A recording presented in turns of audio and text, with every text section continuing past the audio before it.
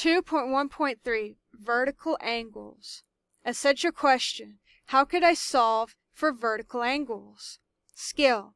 I could use properties of vertical angles to find the angle measurement.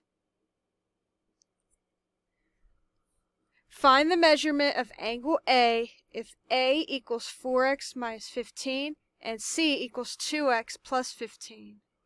So let's go ahead and label those on our picture. 4x minus 15 and 2x plus 15. These are vertical angles and so they are equal to each other.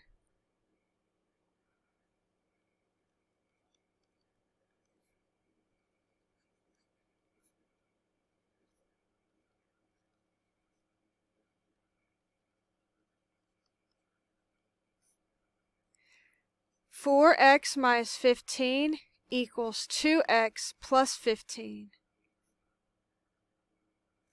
Let's add 15 to each side.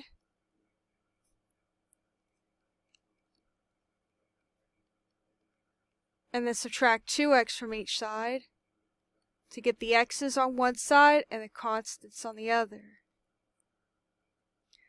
And we're going to divide each side by 2. x equals 15. Now we're not done. We want to find what the measure of angle A is. So we're going to evaluate this. 4 times 15 minus 15. 60 minus 15 is 45. So this angle is 45. That means that this angle also, also must be 45. A and B are supplementary angle. so this would be 180 minus 45.